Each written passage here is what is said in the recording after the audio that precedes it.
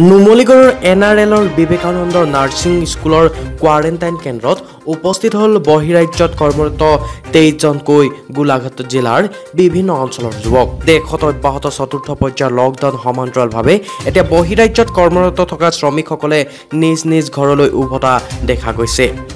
এই দৃশ্য হৈছে নুমলীগড়ৰ। যোৱা নিশা এঘাৰমান বজাত নুমলীগড়ত উপস্থিত হ'লহি তামিলনাডুৰ পৰা অহা তেইছজনকৈ যুৱক।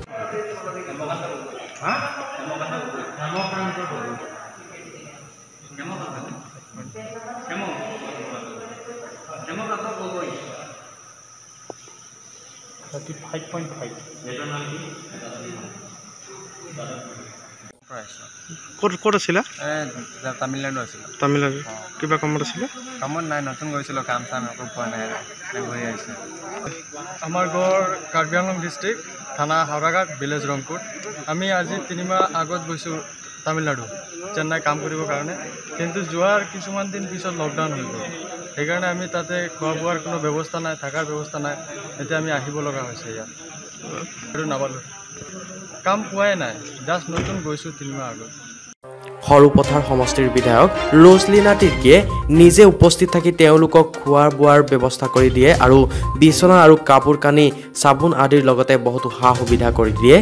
চেন্নাইকৈ অহা মুহূৰ্ততে ভাড়াৰ অকণমান অসুবিধা হৈছে বুলি কৈছিল। সেই ভাড়াৰ যিটো এটা চৰ্ট হৈছিল সেইটো যোৰা মাৰিবৰ কাৰণে মই বিছ হাজাৰ টকা এটা আজি তেওঁলোকক দিছোঁ ভাড়া আৰু অন্যহাতে গোলাঘাট জিলাৰ অ' বি চি মৰ্চাৰ উপসভাপতি জীৱন চুতীয়াই তেওঁলোকৰ সুবিধাৰ স্বাৰ্থে বিছ হাজাৰ টকা ধন আগবঢ়ায়।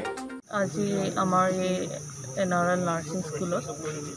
আমাৰ তেইছজন আমাৰ যুৱক আহিছে। তেখেতসকলে তামিলনাডুৰ কাঞ্চীপুৰম ডিষ্ট্ৰিক্টৰ পৰা আহিছে। আৰু ইয়াতে যিসকল আহিছে তেওঁলোকে কাৰণে আমাৰ ইয়াতে বিচনা পত্ৰ খোৱা লোৱা চব সকলো ব্যৱস্থা কৰি দিয়া হৈছে। ইয়াত তেওঁলোকে তিনিদিন থাকিব। আজি অহাকালিলৈ চব কালেকশ্যন হ'ব। হোম কোৱাৰেণ্টাইন কৰা হ'ব। আৰু ঠিক তেনেধৰণে আমি যিমান পৰা যায় তেনেকৈ ব্যৱস্থা কৰা হৈছে। আৰু সোনকালে হৈ যোৱাৰ পাছত তেওঁলোকক ঘৰলৈকে থৈ থৈ অহা হ'ব। চেনিটাইজাৰ ব্যৱস্থা কৰা হৈছে তেওঁলোকক? চেনিটাইজেশ্যনৰো ব্যৱস্থা কৰে সম্পূৰ্ণ যিখিনি আপোনাৰ ক'ভিডৰ নাইণ্টিনৰ কাৰণে বা এই কৰোণা ভাইৰাছৰ আক্ৰান্তৰ কাৰণে আপোনাৰ ষ্টাৰ্টিঙত চেনিটাইজেশ্যন কৰি গোটেই গোটেই ইনষ্টলমেণ্ট কৰিলোঁ বেড আপোনাৰ পিল' আপোনাৰ সকলো কথাখিনি আৰু তাৰপাছতে অহাৰ পাছত তেওঁলোকে ৰেজিষ্ট্ৰেশ্যন কৰি মেডিকেল টিম ইয়াতে অন কল ডক্টৰ থাকিব তাৰপাছত তেওঁলোকৰ কাৰণে খোৱা বোৱাৰ কাৰণে খানা পিনা চব কৰা হৈছে খা পানী দিয়া হৈছে। ঠিক তেনেধৰণে ভিতৰতে যিখিনি ব্যৱস্থা আছে তেওঁলোকৰ কাৰণে কৰা হৈছে। যিমান এজন মানে থকাৰ কাৰণে যিমান পাৰোঁ মোৰ ফালৰ পৰা কৰা হৈছে। আৰু খোৱা লোৱাৰ কাৰণে তেওঁলোকৰ থ্ৰী টাইমছ খানা তাৰপাছত চাহটো দু দুবাৰকৈ তেনেকৈ আমি ব্যৱস্থা কৰা হৈছে চেনিটাইজেশ্যনো তেনেকৈ প্ৰপাৰলি হৈ থাকিব। নুমলীগড়ৰ পৰা গৌতম বৰা ৰিপৰ্ট অসম টুডে